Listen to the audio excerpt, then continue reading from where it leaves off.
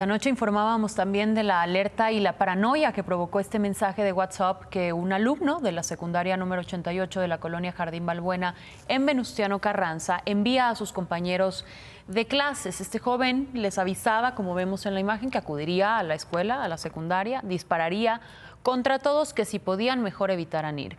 Este joven le advierte a su compañero, avísale a tus mejores amigos, le cuenta que la pistola es de su padrastro y concluye el mensaje con un ya estoy harto de todos. No pasó de la amenaza por fortuna. Ayer incluso por precaución. Algunos papás ni siquiera dejaron ir a sus hijos a la secundaria. Y hoy, por lo pronto, a las afueras de esta secundaria hubo algunos elementos de la Guardia Nacional resguardando la zona.